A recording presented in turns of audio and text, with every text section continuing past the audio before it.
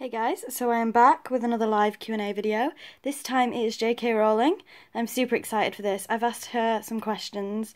Um, maybe she'll answer them, maybe she won't, but we're going to keep refreshing. It's a Facebook Q&A, so these can be temperamental sometimes. It is on the Lumos Facebook page.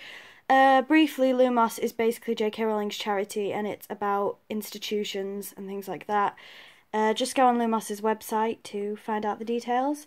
But yes, it says that the Q&A is quarter past eight. It is now 14 minutes past eight, so it's really due up any second. So I will keep refreshing. It is now quarter past eight as we speak. So it should be up now, but it's not up yet. Uh, I will keep refreshing the page. Sorry, that's a bit of a bad picture. I will try and sort this out. I'm going to pause the video and I will press play again when we're on to the Q&A. Here we are, allegedly. It says, author and founder of Lumos, uh, J.K. Rowling talks to host Lauren Laverne. The interview marks the official launch of We Are Lumos Worldwide, a global campaign to raise awareness of the 8 million children living in orphanages around the world and the work that Lumos is doing to help them return to family life. We will be on hand to answer any questions you may have throughout the broadcast. Please use the comment section below. We hope you enjoy watching. So I'm just going to try and copy and paste. Oh dear, hang on. Sorry, something happened to my laptop, uh, to my camera, but it's giving you a story now quickly about the charity.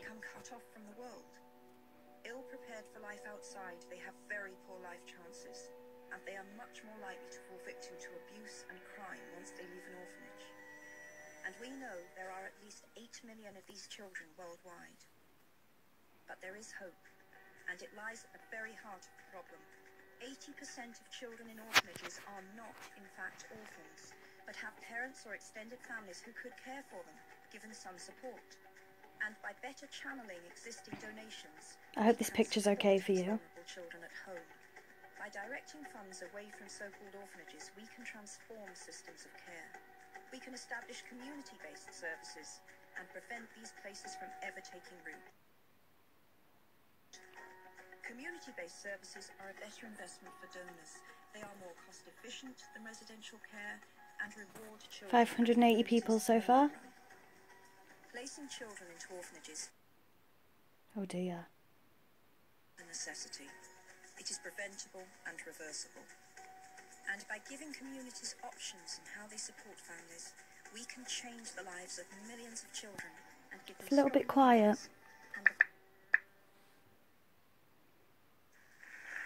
Here we go. The picture's not that great either.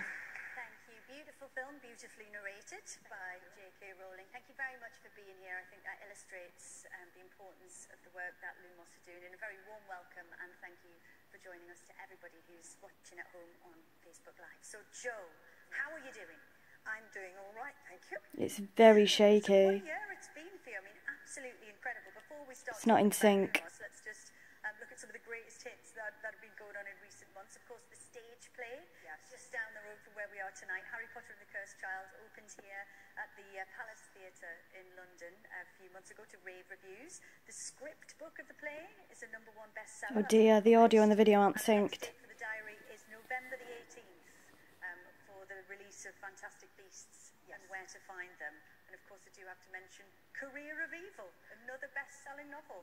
Um, although Robert Galbraith's obviously uh, on, on the cover. That's that came out in paperback earlier in the year. How on earth do you manage it all? How do you fit it all in?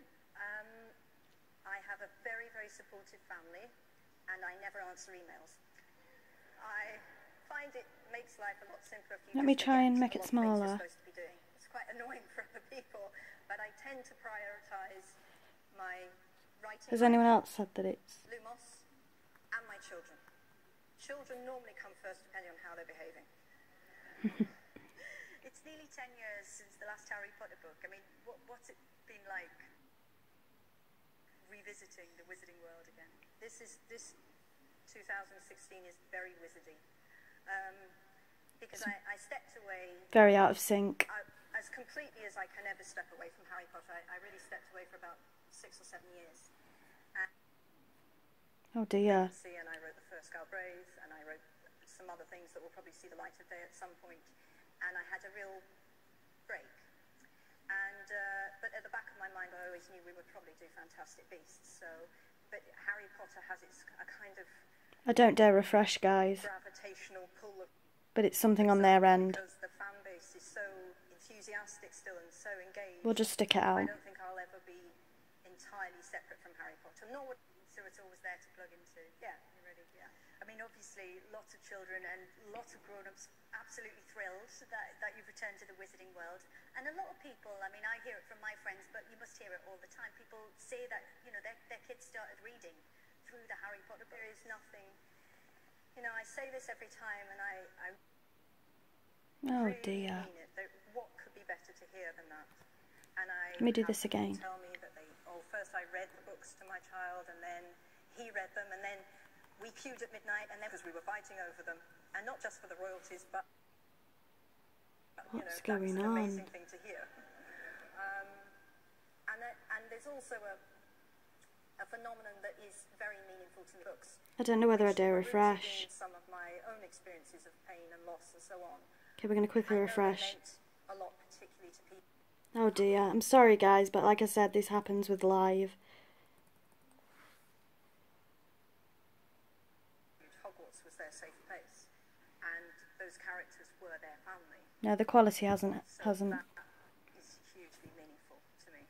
And I mean, this is the main reason that we're here tonight, in, in some ways, talking about to talk about the importance of family. Right. That's that's a real a real key part of what Lumos is all about, supporting families around the world. Sorry about this, guys, but you can still hear the audio. It's we we have now about 80, 80 years worth of research to show that it is essential for a child's normal development, which by which I mean psychological, emotional, um, physical as well, that they have sustained one-on-one loving care. Now, that doesn't mean that you have to be in a picture perfect, advert ready family with 2.2 children. Not at all. It means literally what it says you need a loving one on one relationship. Normally, that will be your family. This quality's Sometimes awful. it can't be your family, but it could be a different family. Um, just seen on the film, we know that there are an estimated 8 million children currently institutionalized in the world, and we know that at least 80% of them aren't orphans. I think this is, that's going to be a, big surprise to people. I mean, there, there are a few kind of things that people are going to have to get their heads around. Yeah. But that's going to be one of the key surprises that most children in orphanages Oh dear, sorry. are not orphans. Well, I mean, I'm not blaming anyone because, you know, it's called an orphanage. So what, what are you going to think? And I think that we have a cultural assumption, although it's a little illogical because we know most of us here tonight have grown up in quite privileged countries and we know that we don't do that to our own children anymore. So that's kind of the clue.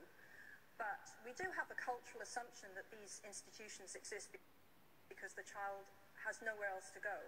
And the reality, unfortunate, is very, very different. And we do know, all of the research agrees, that there's little you can do worse for a child than put it in an, in an institution. And I have met babies who have learnt not to cry. And I have entered rooms with very small children who will, who will come sit on my lap, be from Adam, from Eve. But they will crawl, as we all know, Oh, this is terrible. anyone who has ever had anything to do with small children, they are hardwired to love and to seek love. A baby doesn't just cry for food, it wants, it makes these children exceptionally vulnerable. They have profound attachment issues. And the film just showed there was a Russian study that showed that uh, children who left an institution at 18 were 10 times more likely to enter prostitution, 50 times more likely to, be, to have a criminal um, past, um, and 500 500 times. So it, it is this, it's this vast silent tragedy. And there's a lot of research out there about Huge amount of research, and, and it always reaches the same conclusions, yeah.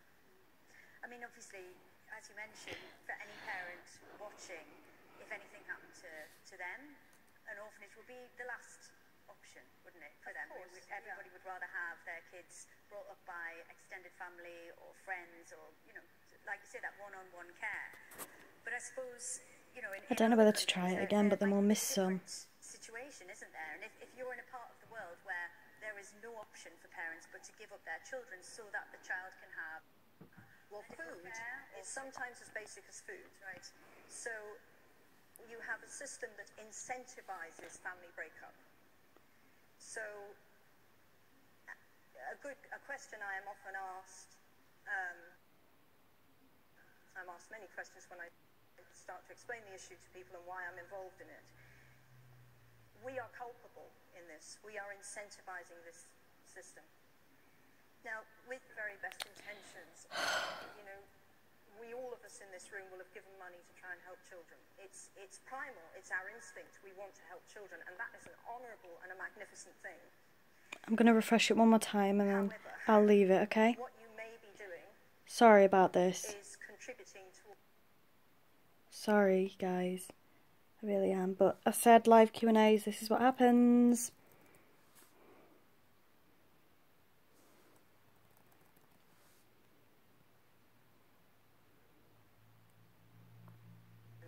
these globally is if I put them in the institution. Um, so the result is, unfortunately, that some, right, at the benign end, some orphanages are set up with the best possible intentions. Unfortunately, the research shows even well-run institutions do a lot of damage. Then, unfortunately, you have institutions that really are run as businesses. Because we know that where a lot of donor money goes into orphanages, more and more are set up. And that's not because parents are dying.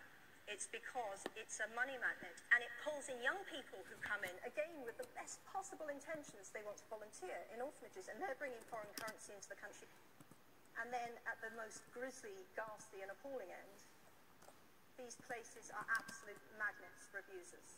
The child has been cut adrift from its biological fa family. You don't have people keeping tabs on what's happening to that child. And, as I've said, these children have attachment issues, so they're extremely easy to manipulate. So where is this happening? And, and if we know that orphanages are not good places for children to be, why is it still happening? Does it go back to that, that financial cycle that you described? Anywhere that there's been a natural disaster, orphanages will spring up.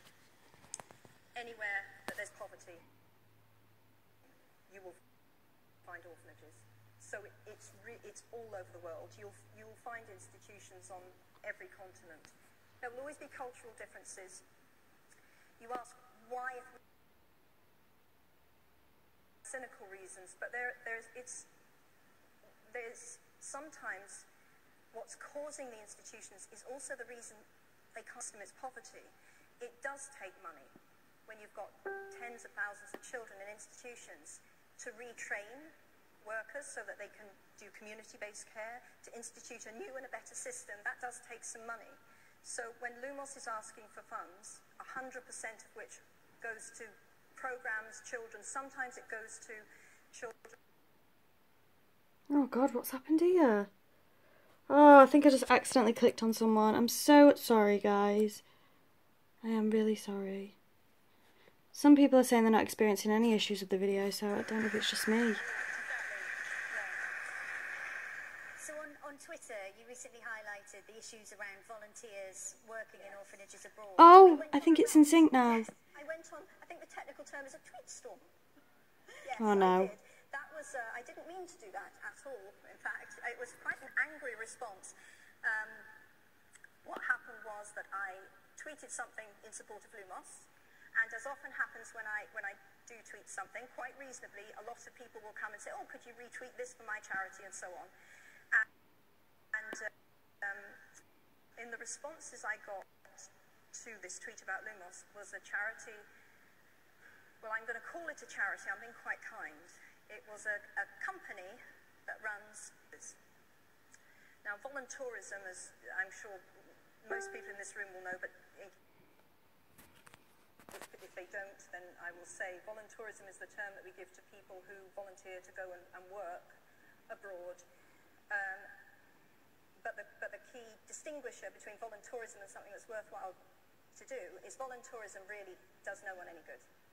So I'm sorry about this. young people, but they are doing it with the best intentions. I know that. They're going into orphanages. They are perpetuating the attachment disorders that these poor children have, and then they leave. This company that tweeted me um, was saying that this was a great thing to do as a CV distinguisher. Um, and I was really disgusted actually. I'd shaming and I didn't, and I'm glad I didn't because I think that would have taken away from what I really wanted to say, which was to make a broader point to young people thinking about doing this.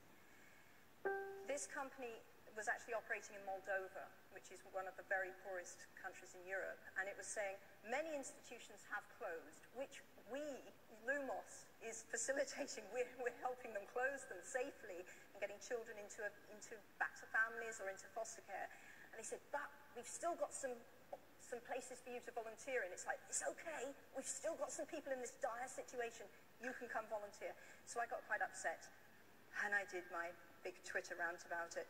But I would say to any 18 or 19 year old who, who wants to volunteer, go volunteer in a community based project, do your research, make sure you know what you're doing, make sure you're really making a difference because you could, with the best intentions, be propping up a system that is harming children. Okay. So let's talk about the solution then. I mean, to, to this, these options of being destitute on the street or, or being in an orphanage. There are solutions. There are definitely solutions. It's important to say that we are not walking in saying, we know the answers, um, and let us impose our answers on you, because in every one of the countries we're working in, there are experts on the ground who know what needs doing, but they often don't have the funds to do it, and they don't have the clout that some NGOs have. We are very lucky. We've partnered with the EU and we've worked with the UN and WHO, and we, we can redirect funds. We give our own funds, of course, but we can also help put a package together. Um, so what's the answer? Well, Other people have said the video is shaky as well. Many people have vested interest in keeping the orphanages open, and again, I use the word orphanages, and I don't like using it. The institutions open, and again, that's not always nefarious. It could be people who say, well, this is a poor country, and this is my livelihood, working in this institution. Well, our answer is, you do not have to lose your job. Provide the funds, so you're retrained as a community worker. You can become a health nurse. You know, you're, you run the day centre where we'll give effective I'm a bit upset about this, don't want to sorry. your livelihood away. We want to show you how we can make this work for the children and for you. So that's one solution. That's what we would do with the actual institutions. As I've said, sometimes the children are very sick. We I'm going to quickly give it another refresh because you, you, if anyone's watching this, you can't watch it like this. You can't. You can't watch a video like that. And I'm really sorry that that's happened. I hope we haven't missed too much. I'm sorry. say 80% of children, generally speaking, can go back to family with the support the family want them. But where that's not possible, foster care is normally our answer. High quality foster families. Yeah. So it sounds like Lumos is having a, a, a huge impact. I mean, it's it's no longer started out as a spell in Harry Potter, but it isn't just a spell anymore. It's really changing things. It is. I think the latest figures that we've got 17,000 children out of institutions to date, which I'm very proud of. Um, as I say, various systems, high, high quality foster care. Um, also small group homes where children effectively live in a family type situation. So it's consistent. They're always, it's that one-on-one loving care we're talking about. We've prevented 15,000 children going into institutions. And we're working in more and more countries as we go. So yeah, I am, I'm very proud. I'm not surprised. And this really is at the heart of what Lumos is all about, isn't it? I mean, creating real step change, solid goals, and 100%. The, what is, if you take nothing else away tonight, I would like you to remember this is a solvable problem. This is, act, we can actually finish this. We could solve this. The 8 million children is this unfathomably large figure. You, you, it's, it's so hard to really take that in, what that means 8 million children. But we can solve it. We absolutely do need funds, but we also need to change minds. If we change minds, we will change lives. If people understand, I, I'm not going to give money to this orphanage. I'm going to do a little bit of research and I'm going to find out who's operating in that country, who will reunite families. I'll give the money there. You know, if, if everyone did that, that would change so much. If you if you go forth tonight and you hear someone saying, well, you know, he's going to volunteer in an orphanage or, you know, we're, we're helping set up an orphanage, you know, the re-education in itself will stop this happening going, going forward. I mean, Jo, the, you set the charity up, um, I think about 10 years ago. Yeah, you must be a decade, immensely yeah. proud of, of what it's achieved over that time. I am because I've met I've met children who have uh, who we've managed to get back to their families and they want to become advocates. She's an amazing woman. You know, for the NGO, they want to. We, I've met um, a little girl not long ago. When I say little, this is a. She appeared to me to be 12 years old. She was actually nearly 15. But this is what institutions do to children. Their physical development also, the research shows, is impaired. But she's now an incredibly articulate advocate for deinstitutionalisation. So, yeah, that's a wonderful thing. And we do know, I think, I think it's just over 4,000 occasions where we've found children who were very severely neglected and we we, we believe we saved lives. So that's obviously massive also. Fantastic. I mean, you must get a lot of support from the Harry Potter fan community as well. Yes. Tell me about them. They are um, they're extraordinary. I've never I've never heard of a fandom that's so engaged and they are. Oh, it's real making me cry. fandom, actually, they are, and I'm immensely proud of that. I am. So they, they've, yeah, they've been they've, they've done fundraising and they've done awareness raising, and yes, they're extraordinary. Well, speaking of those extraordinary people, um, you know that when we announced this Facebook broadcast that we're, we're currently right in the middle of, I hope it's me. um, through the question out, we asked the world what questions they would like to ask you about Lumos, and unsurprisingly, we were in- inundated. Got a couple here. Um, the first comes from Ardit Aliti. Um, this is a lovely question. On Lumos's website, it states that 80% of children are living in orphanages, as we've talked about, uh, and they're not in fact orphan, orphans. But what work does Lumos do to ensure that the remaining 20% of children who are orphans also get the love and care that they deserve? Well, that is a, a brilliant question because that's a question I get asked all the time. Ah, but some of them are orphans, so what are you going to do there? Well, the answer is we need high quality foster care uh, where it's appropriate, and obviously it's all dependent on the child's particular circumstances. It may be appropriate to have uh, um, something like uh, Barnardo's used to have small scale, family sized um, care units, as it were, which is as you know as close to a family as you could get. We've set those up. Um, adoption in the child's own community is almost always the best way to proceed when you're when you're um, trying to settle a child. But the, so there are lots of different options um, depending on what the country is. Okay. I imagine that the journey of Harry Potter provides hope for some orphan children in showing them that the sun may truly one day emerge from behind even the densest of clouds. What do you think?